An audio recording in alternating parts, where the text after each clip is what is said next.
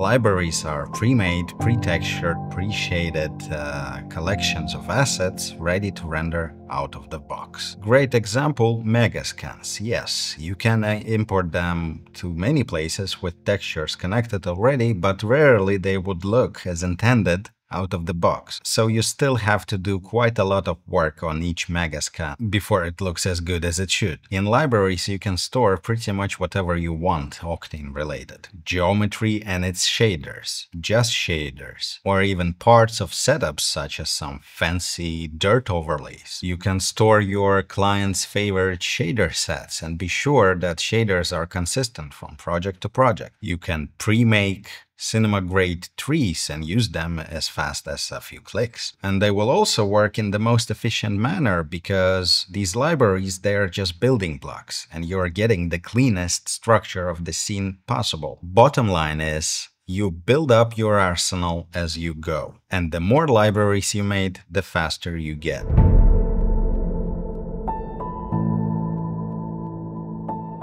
First, let's discuss ORBX and OCS differences. Both are Octane native project files, except ORBX is a packed container. It's a self-sufficient project file. You open it up and it has all the assets within it. ORBX scene size will accordingly reflect that the bigger your assets are, the bigger the ORBX will get. And if you let automation such as DCC full scene baking into ORBX take over, the size of the ORBX will inevitably and unnecessarily get blown up. For a long time, this container was the only one Render Network supported. OCS project file, on the other hand, is just a scene description with the absolute uh, file paths. This file doesn't get bigger if you add more files into it, because it doesn't store them. It only references them and loads them into memory upon request. This container is preferred for studios with environment. For example, our studio. We have many machines that need access to same files. So we have server with assets. I wouldn't want my team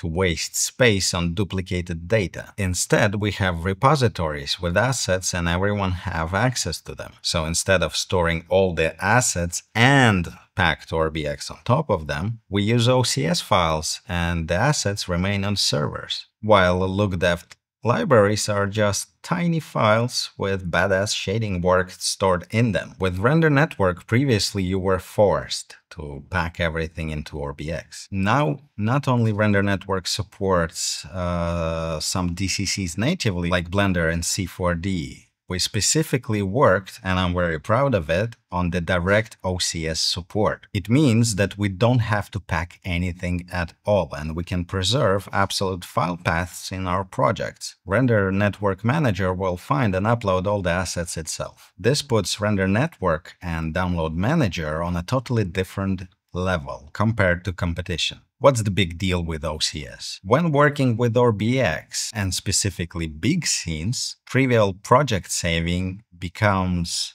inconvenient and annoying to say the least. Because every time you want to save your project, you have to wait for all the gigabytes of data to be resaved. And depending on the scale of your project, it may be a lot of gigabytes. With OCS, saving is instant, because again, it doesn't store those assets. Moreover, OCS is unencrypted, bringing it closer to the likes of Clarisse iFX. It means that I can open the project in a regular text editor and see what's inside. For experienced users, this is another way of working with your scene. We loved it because the project became invincible. In an unlikely event of a crash and corruption of the scene, you can go into OCS and find faulty code lines to fix. This also allows many more advanced pipeline manipulations and adaptations that uh, higher-end pipeline TDs would be familiar with.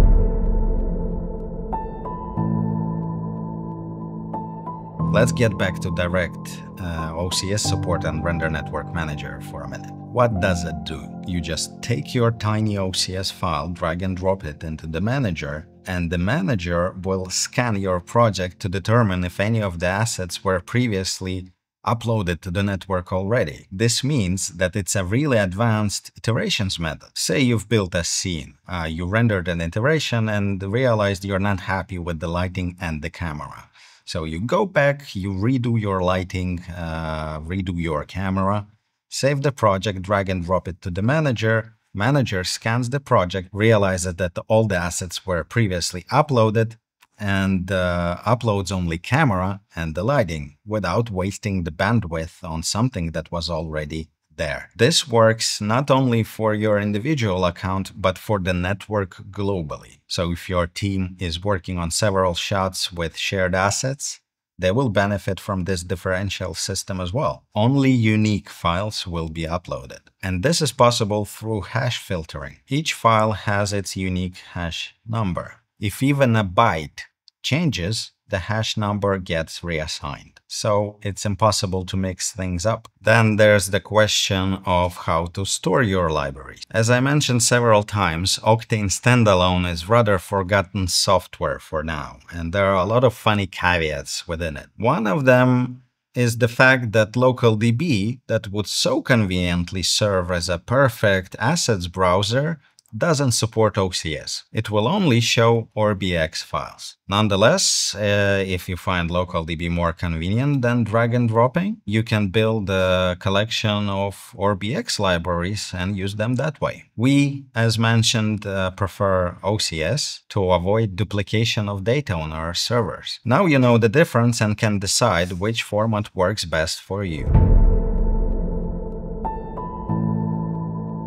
Since I discovered the snappiness of standalone, I prefer to look dev in there. It's just another level faster. And I'm surprised to say I even got used to the mutant sausage uh, nodes. They kinda started to make sense to me. I would prefer to have uh, options of how the nodes are built, horizontally or vertically though. When working with assembly softwares, it's at first hard to get used to the fact you can't build anything in them. You can only import assets and put them together. So that's what you must do. Import geometry, import textures, put them all together and save as you usually would. The next time you need this library, you just drag and drop it in your scene. There are a few important tips I would like to give you about library structure. First, the way you build your libraries depends on whether it's a single asset library or a collection of assets library. Perfect example, Megascan static rocks. They would all have a shared shader, but you wouldn't want to store them as individual files. Reason for that is simple. If you decide to pack your project into ORBX in the end to either use on a render network or share with colleagues, then duplicated shaders will simply occupy more space in your ORBX. This would get resolved on the render network later, but it's unnecessarily blowing up the size of your ORBX. Our tree libraries look like this. Each tree species live in its own library. Shaders are shared and it's the most efficient and optimized library there can be. Second tip is about the structure within the library. There are a few nodes I like to use. First one is Material Map node. It allows you to assign shaders after geometry and not to it. It opens up the opportunity to swap geometry later without redoing shading assignments. For example, you have a library of static pines, but later you decided that, in fact, you want your pines to be animated. Usually, you would import animated geometry and redo assignments.